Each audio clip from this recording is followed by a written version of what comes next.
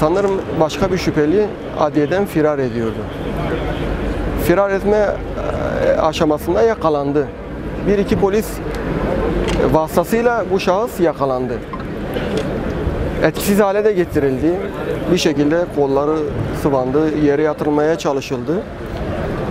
Bu tartıştığım şahıs, daha doğrusu beni darp eden e, şüpheli sonradan diğer şüpheli etkisiz hale getirildiği halde suratına bir yumruk çaktı. Bunu ben gördüm. Müdahale etmeye ihtiyacı hissettim. Ancak ortak kar- ortam biraz karışıktı. Bir hengame vardı ortada. Kamera kayıtları zaten vardı. Buna ilişkin suç duyurusunda bulunacağına ilişkin e, sonradan e, düşünerek ayrıldım oradan. Ben de sulh cezaya geçtim. Bunlar da oraya geçmişler. Yalnız bu süre zarfında bizim izlediğimiz kamera görüntülerinden sulh cezaya geçerken dahi bu şüpheli şahsın telsizlerle darp edildiğini bile biliyoruz. Kamera kayıtlarında mevcut. Ben sulh cezaya geçerken bizim bir avukat meslektaşımız bu duruma seyirci kalmamış ki şahsı uyarma yönelik sözlü uyarılarda bulunuyordu. Arada da bayağı bir mesafe vardı. Yani fiziki bir şiddet ya da bir saldırı söz konusu değildi. Sakin bir üslupla şahsı uyarıyordu. Ancak şahıs çok gergindi. Zaten kamera görüntüleri zaten ortada. Ben çok gerginim. Sen kimsin? Uzaklaş buradan. Ne işkencesi? Siz kendinizi ne zannediyorsunuz?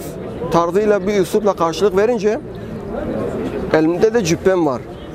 Ben müdahale etme ihtiyacı hissettim. Yani arkadaş e, bu üslubun yerinde bir üslup değil. Bir sakin olur musun? Sen zaten çok gerginsin.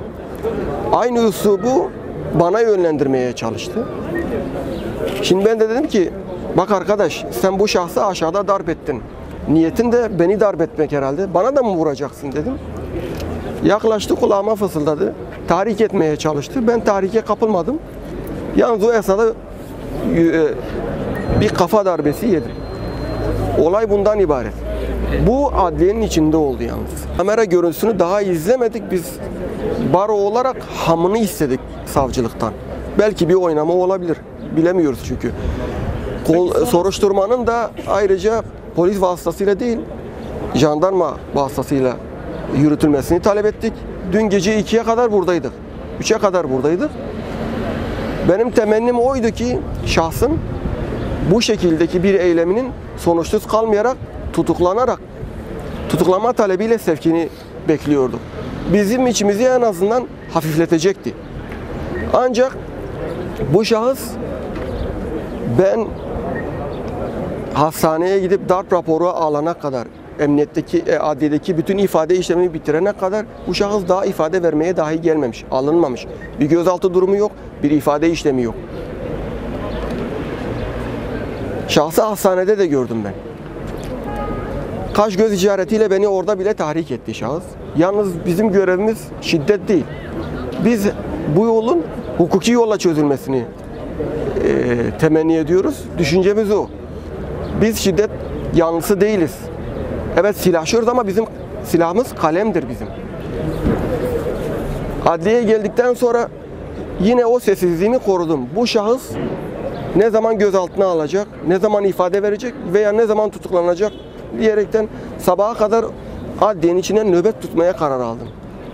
Bütün arkadaşlar da sağ olsun yanımdaydılar. Bu bir çünkü meslek dayanışmasıydı. Ancak üzülerek söylüyorum ilerleyen aşamaya kadar, geç saatlere kadar işlemler bitmedi. 11-12'ye doğru şahsın adli kontrolle sevki için sulh cezaya sevk edildiğini öğrendik. Bu bizi çok üzdü. Adliyenin içinde bir avukata kafa atan bir kolluk personeli adli kontrolle sulh cezaya sevk ediliyor. Savunmaya yapılan çok ciddi bir çirkin bir saldırıdır bu. Biz bunu kabul etmiyoruz. Şahsıma yönelik bir saldırı değil bu. Bu avukatla yönelik bir saldırıdır. Çirkin bir saldırıdır. Şiddetle kınıyorum, lanetliyorum. O durum da şöyle. Şimdi bizim adliyenin alt zemininde ilk darbını orada yedi. Sonraki süreçte de yine kamera kayıtları mevcut. Biz öyle duyduk. Ee, icranın bulunduğu bölümde çocuğa yönelik eee telsizlerle kafalarını kafasına yukarıya çıkarana kadar vurmuşlar. Ben bu şahsı hastanede gördüm dedim ya. Görevi nedeniyle gitmişti. O e, şüpheli de onun gözetimindeydi. Şüphelinin ağzı burnu dağılmıştı, kulağı patlamıştı. Bunu hastanenin içinde gördük biz. Fotoğrafını dahi çektik. Zaten bunun akabinde öncesindeki olay daha vahim.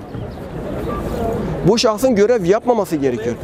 Bu psikolojide olan bir personelin kesinlikle görev yapmaması gerekiyor.